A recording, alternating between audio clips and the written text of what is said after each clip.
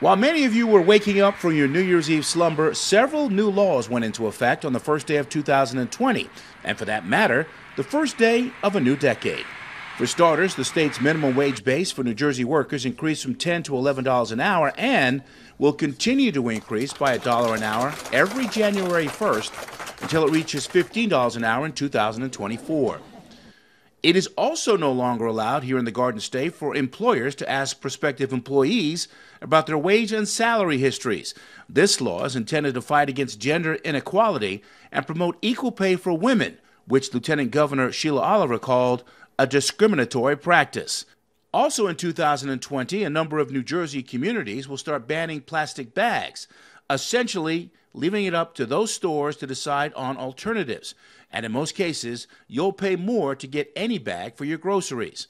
Those communities, by the way, that will start enforcing this law include Asbury Park, Glen Rock, Paramus, Ridgewood, Saddle Brook, and South Orange.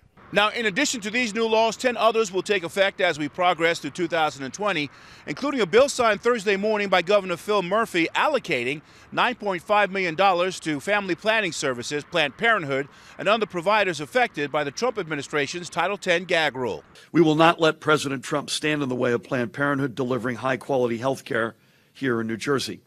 We will not let the health and well being of the thousands and thousands of New Jersey women who rely on Planned Parenthood be jeopardized. This is our commitment. The Title X gag rule, by the way, had forced family planning service providers like Planned Parenthood to withdraw from the federal program in order to protect the quality of patient care it delivers to millions of women and low income families here in New Jersey.